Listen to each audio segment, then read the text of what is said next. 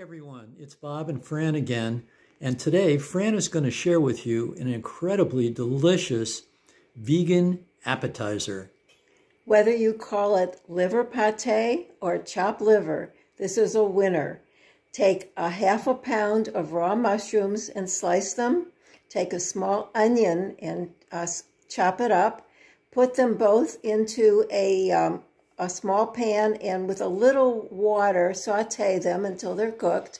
Add that to your food processor with one cup of raw walnuts and a little salt and pepper and process it until it's all chopped up and you have delicious either chopped liver or liver pate, whatever you call it. Great appetizer to serve on crackers uh, when you have company or just, you can even make a sandwich out of yeah. it. Delicious. Welcome everyone, it's Bob and Fran. Today Fran is going to show you an amazing and delicious fast chili recipe. If you love chili and you don't like to cook a lot, I've got a great recipe for you. Take one can of black beans and one can of red kidney beans, rinse them and drain them, and put them in a pot, and add one can of corn that has been drained. And to these three, add one cup of your favorite salsa, stir it all up, heat it, and you've got the simplest but most delicious chili.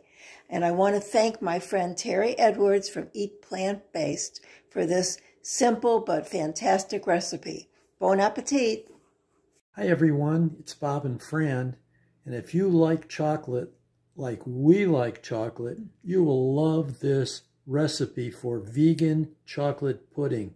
So Fran, tell us about it. How do you make it? So simple. Take one ripe medium avocado, one third of a cup of plant milk, two tablespoons of cocoa powder, two tablespoons of maple syrup, and a half teaspoon of vanilla extract, Blend them all together till smooth in a blender. Spoon them into two dessert cups and chill till you're ready to eat them. That will make two servings. And if you're generous, you will share it with somebody. If you love it like I do, I probably eat both. Hi, everyone. It's Bob and Fran. Today's your lucky day because Fran is going to share with you her famous vegan Parmesan cheese recipe. It's really simple but delicious.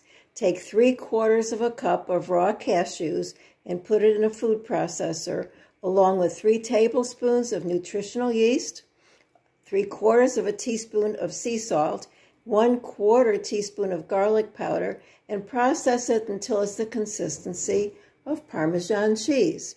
Store it in a container and you can keep it in the fridge.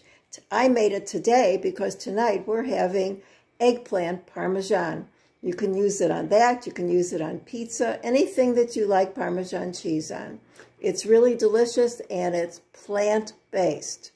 Enjoy. This, this, this cheese recipe will fake anyone out. We love it and we hope you give it a try. Hi everyone.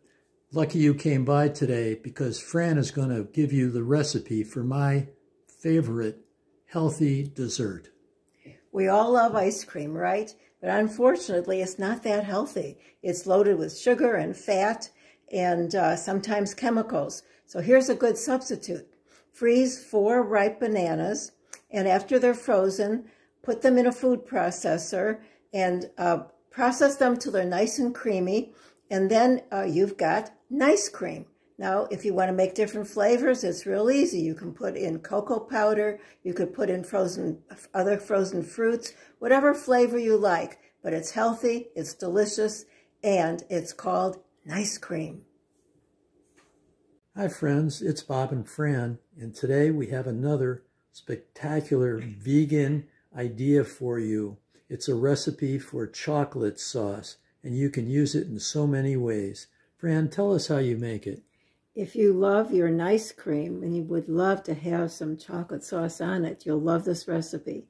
It's half a cup of, of cocoa powder, one teaspoon of vanilla extract, six tablespoons of maple syrup, and six tablespoons of unsweetened plant milk.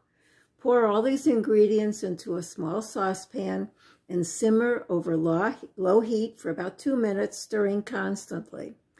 Uh, then you can pour it into a, a glass jar and uh, store it in the refrigerator. It lasts for a long time unless you eat it quickly. Great on a, a nice cream, or you could pour it over um, whatever you would normally put chocolate syrup on.